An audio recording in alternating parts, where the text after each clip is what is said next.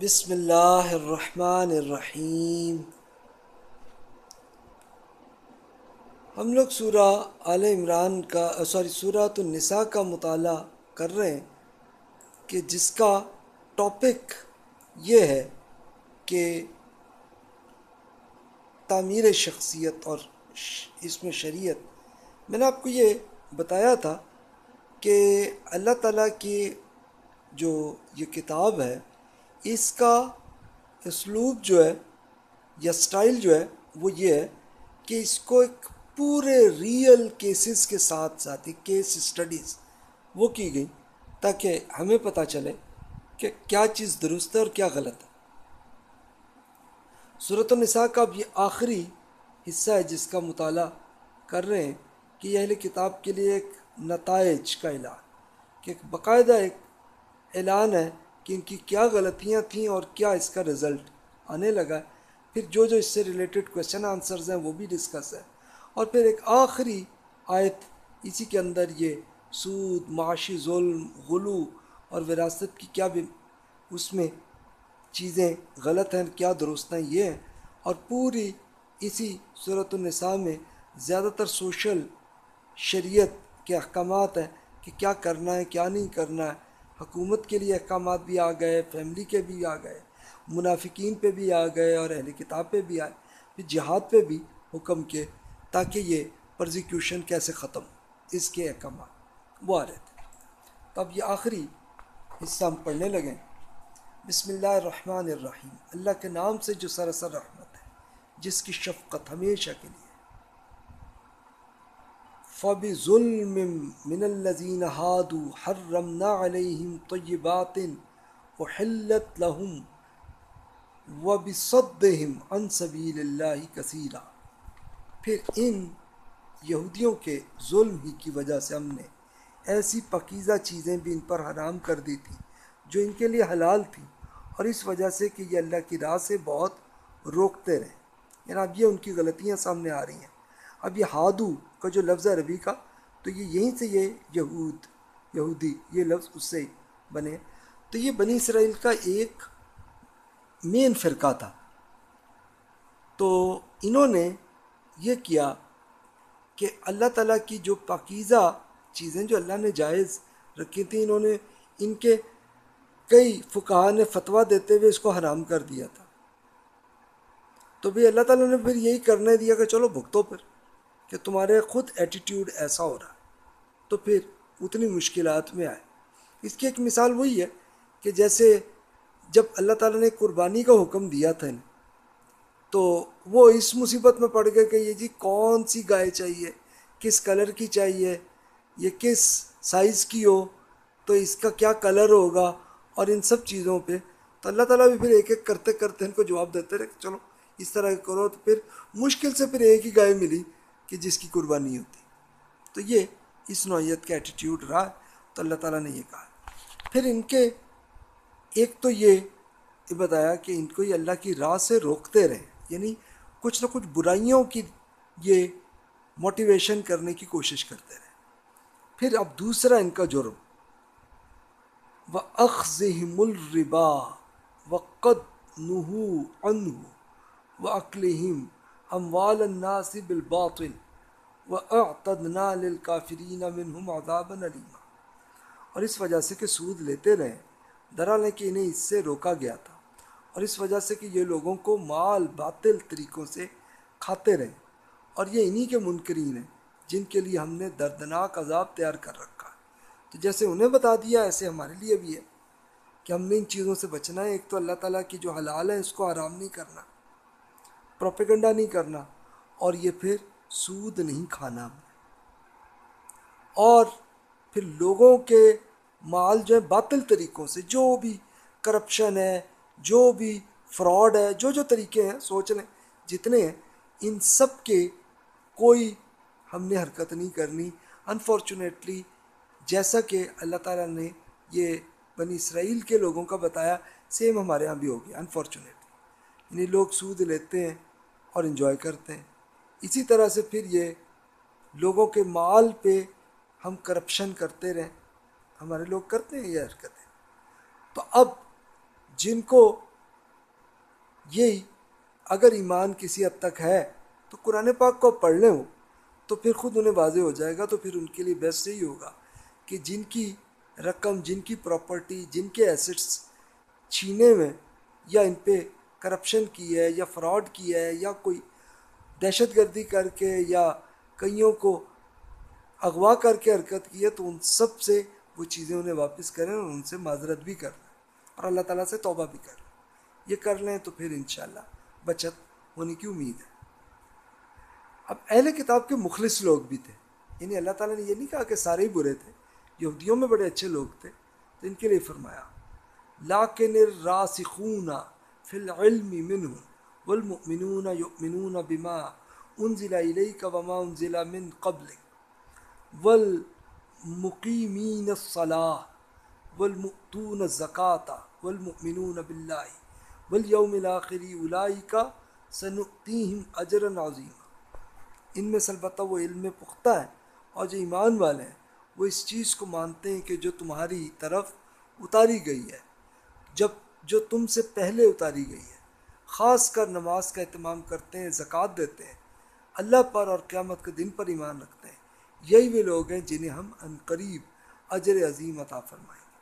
اور واقعی جو ایسے مخلص لوگ تھے، تو وہ رسول اللہ صلی اللہ علیہ وسلم کی دعوت جب پہنچی، قرآن پڑھا، سمجھ آ گئی، ایمان لے آئے۔ تو ایسا بھی ان کے بہت اچھے اچھے مخلص لوگ جو ہیں سامنے آتے ہیں۔ اللہ تعالیٰ نے ان پہ اپریشیٹ بھی کیا۔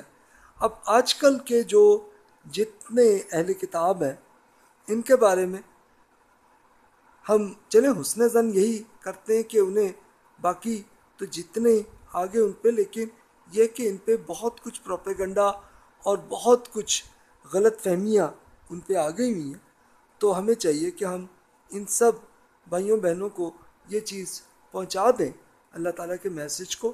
پھر ان شاء اللہ تعالیٰ اگر واقعی ان میں سے جو مخلص ہیں وہ ایمان لے آئیں گے۔ یہ ہوگا ان شاء اللہ اور ان کو پتہ چل جائے گا کہ یہ محمد رسول اللہ صلی اللہ علیہ وسلم ان کے واقعی آخری رسول ہیں، بلکہ ابھی اب سے تقریباً نائنٹین سیونٹی نائن میں یہ واقعہ ہوا کہ کرسچنس کے مین ہیڈ جو پوپ ہیں، انہوں نے یہ کر دیا کہ جی محمد رسول اللہ صلی اللہ علیہ وسلم اللہ کے سچے رسول ہیں۔ ہم مانتے ہیں، بالکل ایمان رکھتے ہیں۔ ہاں ہم یہ سمجھتے ہیں کہ وہ اہل عرب کے لیے تھے۔ یعنی بس یہ یعنی ان پہ عمل نہیں کر لیتے لیکن چلو ایمان وہ لا چکے۔ چلو یہ بھی اتنا بھی آ جائے۔ تو پھر ان کو مزید اس حد تک قرآن پاک ہم انہیں پڑھا دیں تو ہو سکتا ہے انشاءاللہ کہ وہ سمجھ لیں کہ واقعی یہ رسول اللہ صلی اللہ علیہ وسلم کی دعوت پوری انسانوں کے لیے ہے۔ تو اس لیے وہ سمجھ لیں ان چیز کو۔ تو جو پوپ جو ہیں وہ کیتھولک کرسچنس کے سب سے جو ہیڈ ہے مذہبی، تو وہ صاحب ہیں۔ تو وہ اس طرح سے انہوں نے اعلان کیا تھا۔ پھر اہل کتاب پر عنایت اور پھر قرارداد جرم۔ اب یہاں پہ قرارداد جرم ہے کہ کیا وجہ ہے کہ تمہارا جرم کیا جا رہا ہے؟ اور عنایت اللہ نے کیا کی ان پہ انا اوحینا الیکا کما اوحینا الی نوح والنبیین من بعد واوحینا الی ابراہیم و اسماعیل و اسحاق و یعقوب والاسباط و عیسیٰ و ایوب و یونس و ہارون و سلیمان و عطینا داودا زبورہ تو ان کی پرواہ نہ کیجیے، رسول ہم نے آپ کی طرف اسی طرح وہی کی ہے جس طرح نو علیہ السلام کی طرف۔ اور اس کے بعد آنے والے انبیاء کرام علیہ السلام کی طرف کی گئی تھی۔ جیسے حضرت صالح علیہ السلام اس کے بعد پھر یہ سلسلہ نور علیہ السلام سے لے کے ابراہیم علیہ السلام پہ آیا۔ پھر آپ کے بعد ابراہیم کے بیٹے اسماعیل، اسحاق، ان کے بیٹے یعقوب۔ پھر اولاد یعقوب یعنی یعقوب علیہ السلام کی اولاد میں بہت سارے نبی ہیں، جیسے یوسف علیہ السلام، موسیٰ علیہ السلام، یا بہت سارے۔ پھر اس کے بعد عیسیٰ علیہ السلام آئے۔ پھر بیچ میں ایوب علیہ السلام بھی آئے ہیں، یونس، ہارون اور سلیمان علیہ السلام۔ یہ سارے انبیاء کرام علیہ السلام۔ پہ اللہ کی وہی آتی رہی ہے اور پھر انہی میں داؤد علیہ السلام پہ تو اللہ نے زبور بھی دی تھی۔ اب یہ زبور اللہ تعالیٰ کی کتاب ہے اور بائبل میں آپ پڑھ لیں اسے، اس کا ترجمہ پڑھ لیں پورا۔ اس کی وہی بات آپ کو وہ نظر آئے گی جو عین قرآن میں ہوئی لیکن اس میں خاص طور پہ داود علیہ السلام نے ایک باقاعدہ شاعری کی شکل میں ایک اس طرح کیا تھا کہ ایک اللہ تعالیٰ سے دعا اور ڈسکشن اللہ تعالیٰ سے۔ یہ کرنے کی ایک پوری صورت ہے۔ آپ پڑھ لیجیے تو اس میں ایسا ایمان واضح ہوتا ہے تو آپ کو بالکل سیم نظر آئے گا کہ قرآن پاک میں بھی یہی چیز ہے۔ اب زبور میں حضرت داود علیہ السلام اسی طرح سے جب یہ زبور لے کر شاعری کو باقاعدہ ایک گانے کے سٹائل میں کرتے تھے تو باقاعدہ یہ اثر آتا تھا کہ انسان اور بہت سارے پرندے بھی وہ آ کے بیٹھ جاتے ہوتے تھے اور ان کو بہت مزہ آتا تھا اور احادیث میں یہ لگتا ہے کہ کچھ صحابہ کرام رضی اللہ عنہ بہت اسی طرح اچھے خوبصورت آواز میں جب وہ قرآن پڑھا کرتے تھے تو رسول اللہ صلی اللہ علیہ وسلم نے انہیں اپریشیٹ کیا اور فرمایا تھا کہ بھی یہ آپ پہ بھی وہی صلاحیت دی ہوئی جیسے داؤد علیہ السلام پہ دی گئی تھی۔ تو یہ ان کے لیے عنایت تھی، ان پہ، اہل کتاب۔ پھر فرمایا و رسول قد قصص نہ علی کا من قبل و رسول و رسول الم نقص علیہ و کلم اللہ موسا تکلیمہ ہم نے ان رسولوں کی طرح بھی طرف بھی وہی بھیجی جس کا ذکر آپ سے پہلے کر چکے اور رسولوں کی طرف بھی جن کا ذکر آپ سے نہیں کیا اور موسا سے تو اللہ نے کلام کیا تھا، جس طرح کلام کیا جاتا ہے۔ یعنی حضرت موسیٰ علیہ السلام پہ تو اتنا ایک خاص معاملہ تھا کہ ان سے اللہ تعالیٰ سے ون ٹو ون ڈائریکشن کر رہے تھے، بات کر رہے ہوتے تھے، تو اس حد تک تھا۔ تو یہ اللہ تعالیٰ نے ان کو اتنی عنایت کی تھی اہل کتاب پہ، پھر فرمایا رسولم مبشرین و منظرین اللہ یقون الناس اللہ حجتم حجتم بعد الرسل وقان اللہ عزیز حکیم یہ رسول جو بشارت دینے والے اور خبردار کرنے والے بنا کر بھیجے گئے تاکہ لوگوں کے لیے ان رسولوں کے بعد اللہ کے سامنے کوئی عذر پیش کرنے کے لیے باقی نہ رہے۔ اللہ زبردست ہے بڑی حکمت والا ہے۔ تو یہ بتایا کہ بھی ان سارے رسولوں کے ذریعے آبجیکٹو تھا بشارت دینا۔ بشارت کیا تھی؟ کہ آپ یہ یہ یہ ایمان لائیں، یہ نیکی کریں، یہ ایتھک سچے کریں، تو آپ پہ اسی دنیا میں اجر مل رہا۔ اور خبردار یہ ہو رہی ہوتی تھی کہ اگر نہیں کریں گے تو آپ کو یہ جوتے پڑنے یا آپ کی سزا ہونی تو رسول یہی بتاتے ہوتے تھے۔ اچھا یہ تو یہاں تک تو نبوت کا ہی معاملہ تھا۔ لیکن پھر پریکٹیکلی ایسا معاملہ کر دیا جاتا تھا کہ جنہوں نے نیکیاں کی، ان کو اسی دنیا میں اجر ملتا تھا۔ اور جو بری حرکت کریں تو ان کو پھر سزا بھی۔ اگر تو اللہ تعالیٰ کے نبی کے ماننے والے کم تھے، تو اللہ تعالیٰ پھر اپنے فرشتوں کے ذریعے ان میں کر لیتے تھے جو سزا دینی اس قوم کو۔ اور جب دیکھا کہ بڑی تعداد میں ایمان لا چکے ہیں، تو پھر اللہ تعالیٰ انہی کے ہاتھوں سے سزا دیتے رہے۔ اور یہی حضرت موسیٰ علیہ السلام پہ بھی یہی چلا اور رسول اللہ صلی اللہ علیہ وسلم پہ بھی یہی چلا کہ بڑی امت ایمان لا چکی تھی۔ تو انہوں نے ہی پھر مختلف یعنی عرب میں تو اسپیشلی انہوں نے باقاعدہ شرک کو بالکل ختم کر دیا۔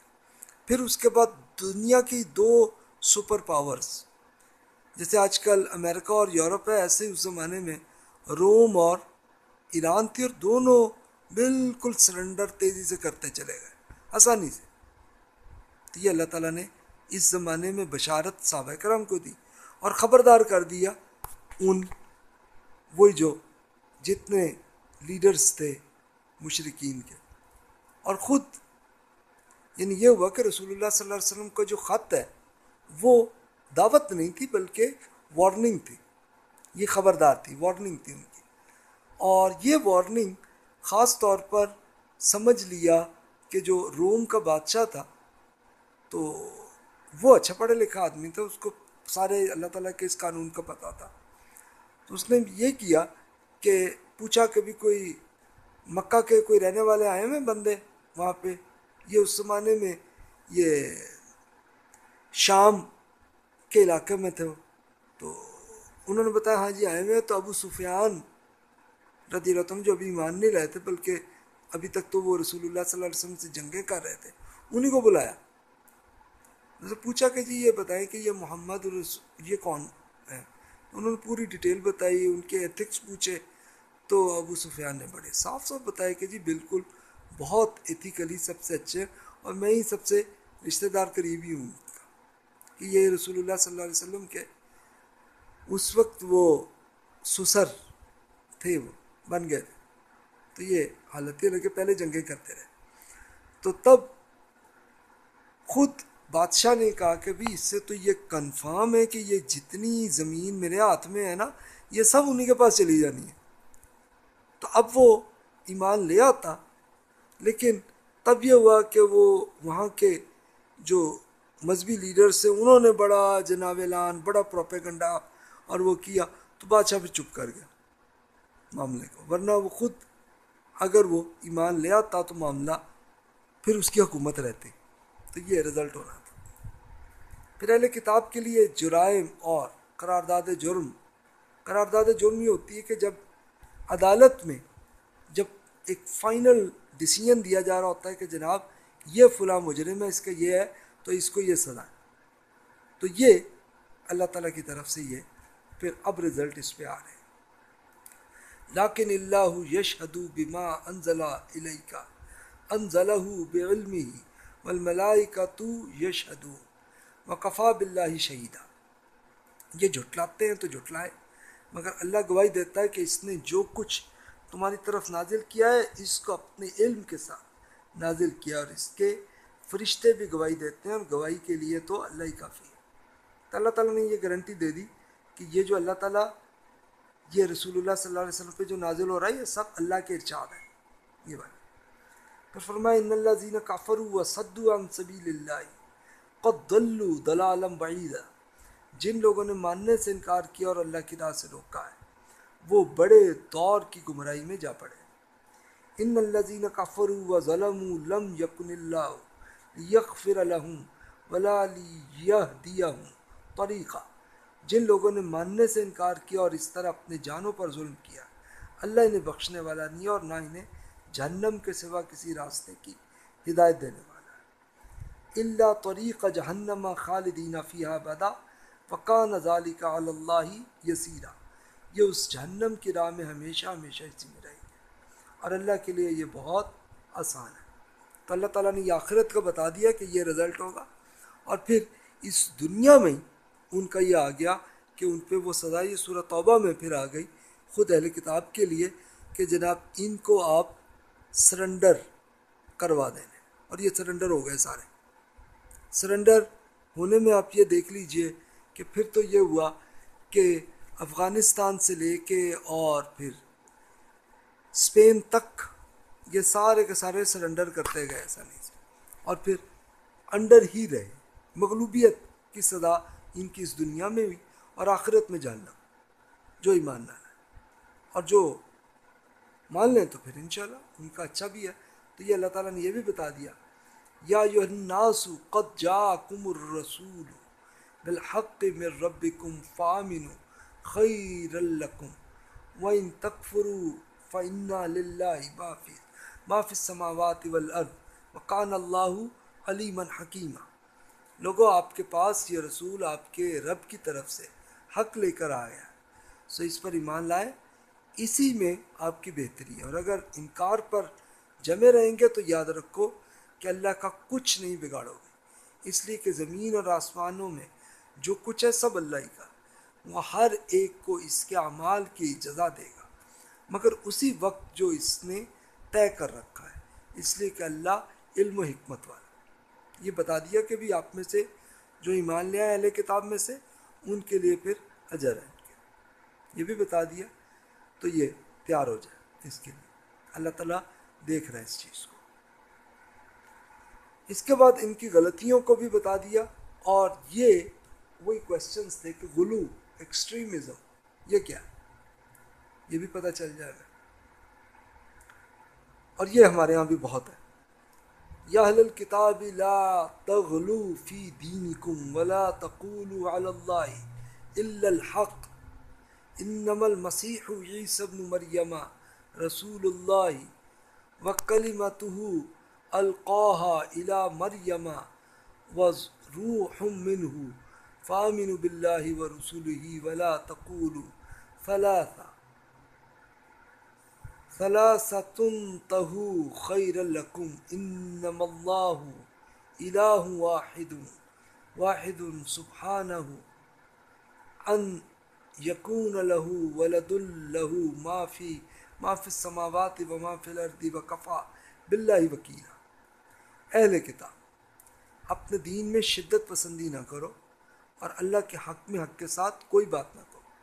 حقیقت یہ کہ مسیح عیسیٰ بن مریم علیہ السلام اللہ کے ایک رسول، اور اس کا ایک قول ہی تھا، جو اس نے مریم کی طرف القاع فرمایا تھا، اور اس کی جانب سے ایک روح تھا، جو اللہ نے اس میں پھونک دی تھی۔ سو اللہ اور اس کے رسولوں پر ایمان لاؤ، اور اللہ کو تین خدا یعنی اللہ، مسیح اور فرشتہ نہ بناؤ۔ بعض آ جاؤ، یہی تمہارے حق میں بہتر ہے، اللہ ہی تنہا معبود ہے۔ وہ اس سے پاک ہے کہ اس کے اولاد ہو زمین اور آسمانوں میں جو کچھ ہے اسی کا ہے اور ان کے معاملات کو دیکھنے کے لیے اللہ ہی کافی ہے۔ تو یہ خاص طور پہ کرسچنس کو یہاں پہ بتایا گیا کہ جو یہودی تھے تو وہ تو آپ پہ ایمان ہی نہیں لائے اور وہ ابھی تک ایک مسیح کا انتظار کر رہے ہیں آج تک اور جو کرسچنس تھے کہ انہوں نے یہ حضرت عیسیٰ علیہ السلام السلام پہ بڑی ایمان لائے، بڑی عقیدت، تو یہ لیکن جو حضرت عیسیٰ علیہ السلام کے صحابی تھے، ان میں تو ایسا کچھ نہیں ہوا۔ اس کے بعد اگلی نسل میں یہ ہوا کہ سینٹ پال وہ ایک مین مذہبی لیڈر بنے۔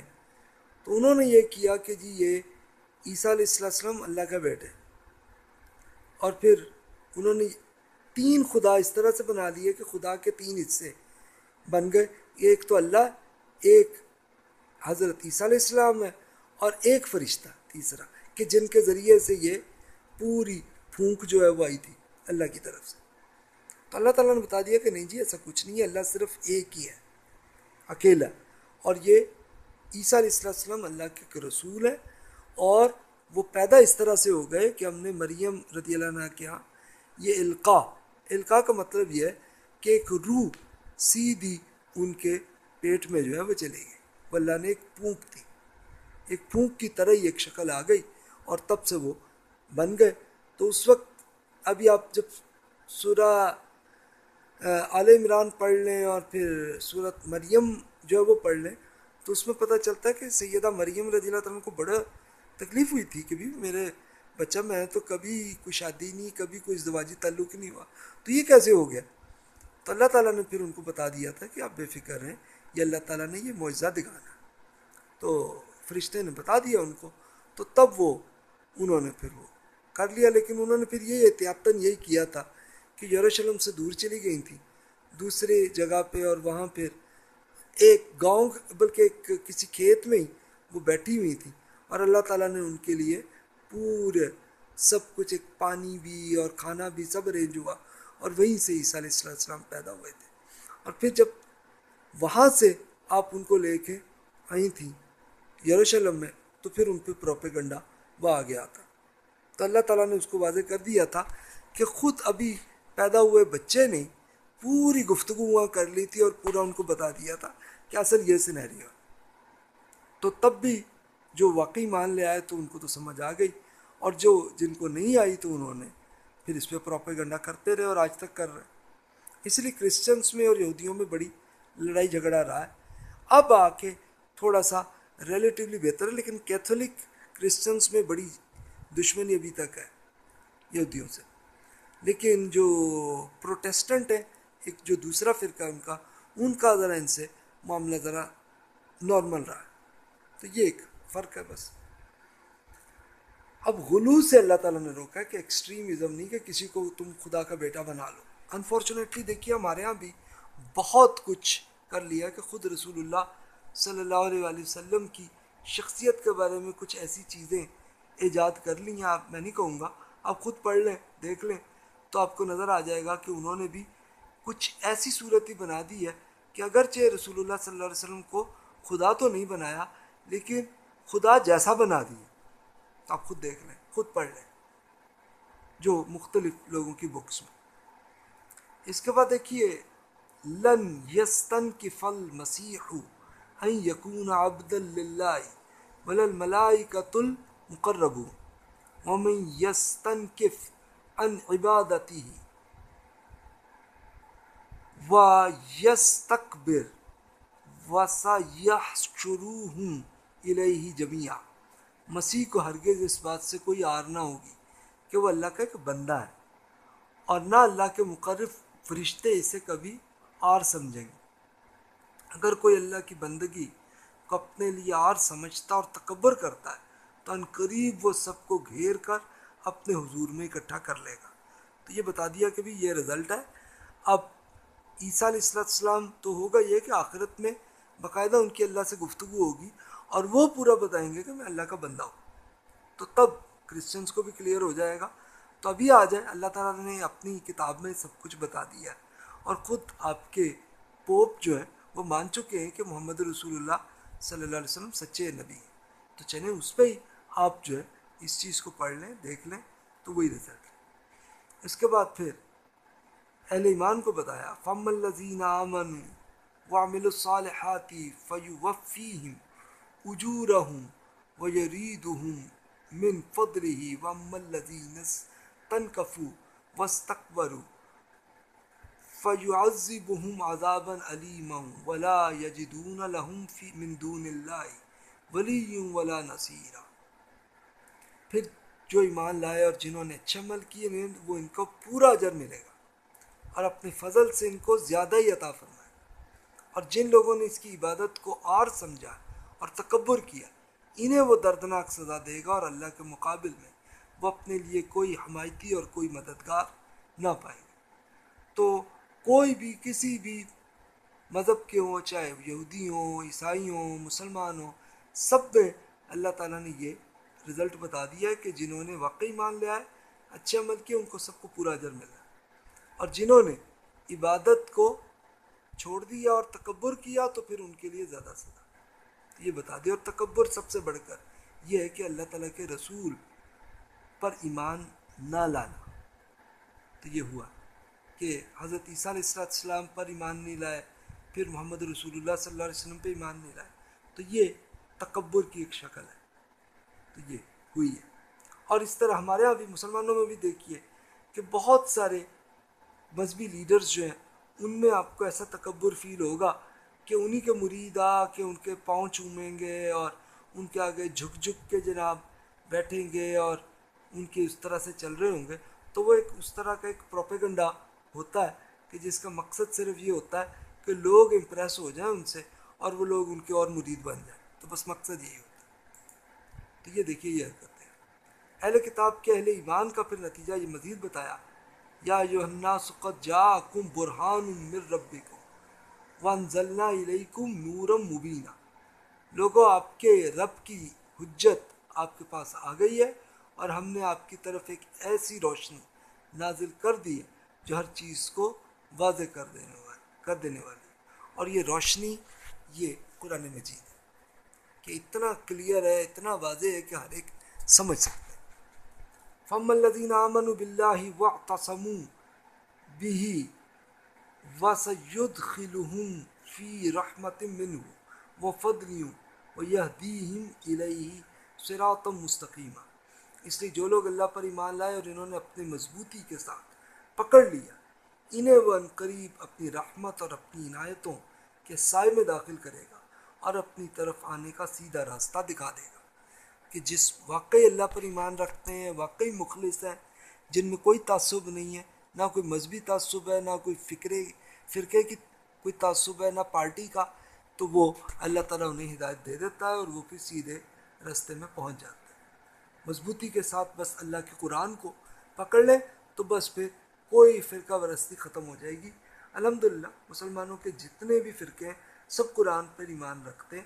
تو بس پڑھ لیں، ان کو پتہ چل جائے گا کہ کہاں غلطی ہے اور کہاں ہم ٹھیک موقع پہ اس کے بعد ایک آخری سوال ہے، اس آخری آیت میں۔ یہ وراثت سے متعلق ایک کوشچن تھا۔ تو اللہ تعالیٰ نے وہ پہلے بہت ڈیٹیل سے بتا دیا، آپ پڑھ چکے ہیں، جو آیت نمبر سیون سے لے کے فورٹین تک میں بہت تفصیل سے آپ ان آیات میں پڑھ چکے ہیں۔ تو اسی میں ایک کوشچن تھا، تو اس کو اللہ تعالیٰ نے پھر یہاں پہ بیان کیا۔ اللہ تعالیٰ یہ اپریشیٹ کرتے ہیں کہ کسی کے ذہن میں سوال آئے تو اس کے جواب دیتے رہے یس تفتون کا قل اللہ یفتی کم فل کلالہ ان امرؤن حلقا لیسا لہو ولدم ولہو اختن فلاح نصف ما ترک وہوا بری سہا علم یق اللہ ولد فن کان تف کان کان کانا تس نتعین فلحمت سلوسانی مما ترک فن کانو اخوتن اخوت رجالا و نساء فللذکری مثل حظ الانثیین یبین اللہ لکم ان تضلوا واللہ بکل شیء علیم۔ نہیں، وہ آپ سے یہ فتویٰ پوچھتے ہیں، آپ سے کوشچن کرتے ہیں کہ ان سے کہہ دیجیے اللہ آپ کو کلالہ رشتہ داروں کے بارے میں فتویٰ دیتا ہے۔ اب یہ کلالہ کیا چیز ہے؟ اب دیکھتے ہیں، پہلے دیکھ لیں کہ اگر کوئی شخص بے اولاد مرے اور اس کی ایک بہن ہی ہو، تو اس کے لیے ترکے کا آدھا حصہ یعنی یہ اصل میں کلالہ وہ ہوتا ہے کہ جس کے بالکل قریب رشتے ہیں ہی نہیں۔ یعنی وہ پہلے ہی فوت ہو چکے ہوں۔ یعنی مثلا اپنے بچے اور اپنے پیرنٹس، یہی سب سے قریب ہے نا۔ تو اگر وہی پہلے ہی فوت ہو چکے ہیں یا بچے پیدا ہی نہیں ہوئے، تو پھر اس کیس میں کیا کرنا ہے؟ تو اللہ تعالیٰ نے بتایا کہ اگر بے اولاد ہیں تو ایک بہن ہے تو ان کے لیے ترکے کا۔ ترکہ ہے کہ جتنی پراپرٹی وہ صاحب جو فوت ہوئے ہیں ان کی ہیں، تو ان کا آدھا حصہ ان کی بہن کا ہو اگر بہن بے اولاد مرے، تو اس کا وارث اس کا بھائی ہے۔ یعنی اگر ایک خاتون بے اولاد اور والدین بھی نہیں ہے اور فوت ہو جائے، تو اس کا پھر اس کا بھائی، جتنے بھائی ہوں گے ان کو ان کے پوری پراپرٹی مل جائے گی۔ یعنی اگر تین چار بھائی ہیں تو سب میں ڈیوائڈ ہو جائیں گے۔ ادھر اور بہنیں اگر دو ہوں تو اس کے ترکے میں دو تہائی ملیں۔ گی یعنی اگر ایک آدمی فوت ہوا اور اس کے دو بہنیں تھیں، باقی اپنے پیرنٹس اور بچے کچھ نہیں ہیں، تو پھر دو تہائی کا مطلب ہے sixty six point six six six six seven percent یہ ان کا یعنی ان کا ہاف آف کر کے دونوں بہنوں کو مل جائے۔ گا اور یہ بھی ہے کہ باقی بچے گا اس کا میں آپ کو بعد میں عرض کرتا ہوں۔ پھر اس کے بعد چوتھا ہے کہ اگر کوئی بھائی بہنیں ہوں تو مرد کا حصہ دو خواتین کے برابر ہے۔ یعنی اگر ان صاحب کے بھائی بہن ہیں تو پھر ٹھیک ہے کہ وہ جس طرح سے اپنے بیٹے اور بیٹی کو جس طرح ڈیوائڈ کرتے ہیں، ایسے ہی اپنے بھائی اور بہنوں کو اسی طرح سے ڈیوائڈ ہو جائے گا۔ اللہ تمہارے لیے وضاحت کرتا ہے تاکہ تم بھٹکنے، بھٹکتے نہ پھرو اور اللہ ہر چیز کو جانتا ہے۔ تب آپ کہیں گے کہ جناب اگر صرف بہن ہے یا دو بہنیں ہیں، تو جو بچ جائے گا، اس کا کیا کریں گے؟ اس کے لیے اللہ تعالیٰ نے آپ کو اجازت دی ہے کہ آپ وراثت کے لیے ایک یہ کچھ وصیت کر دیں کہ جناب آپ اس رقم کو آپ فلاں جگہ پر آپ کر لیں، یا فلاں شخص کو دے دیں، یا فلاں کسی انسٹیٹیوٹ کو دے دیں کہ جو جس سے لوگوں کی خدمت ہو سکے۔ یہ ہے۔ یہ آپ کے لیے آپشن آپ کے لیے چھوڑ دی گئی۔ تو یہ اصل میں حکم اس طرح سے۔ تو جناب یہاں پہ اب آپ دیکھیے کہ یہ ہم نے پورا کمپلیٹ کر لی سورہ صورت النساء میں۔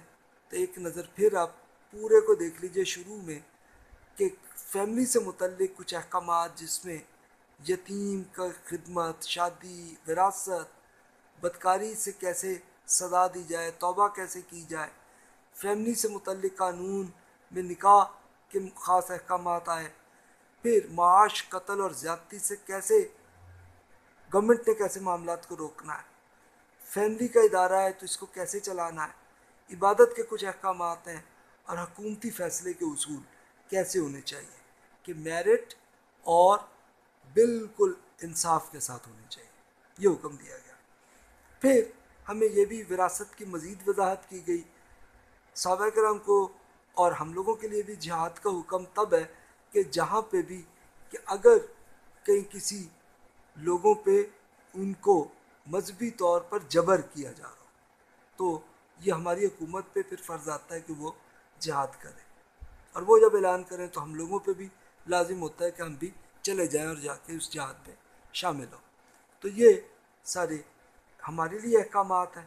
اور پھر اہل کتاب اور منافقین پہ بہت تفصیل سے ڈسکشن کی ان کی غلطیاں بھی بتا دی۔ تب آپ کے ذہن میں جتنے کوشچن رہ گئے، وہ آپ کر لیجیے، بلا تکلف میں انتظار کروں گا۔ آپ کے کوشچنس کو، کیونکہ کوشچن آئے تو پھر علم بھی زیادہ آتا ہے۔ جزاک اللہ خیر۔ محسن الجزا اگلے لیکچر میں انشاءاللہ صورت المائدہ ہم شروع کریں گے۔ جزاک اللہ خیر۔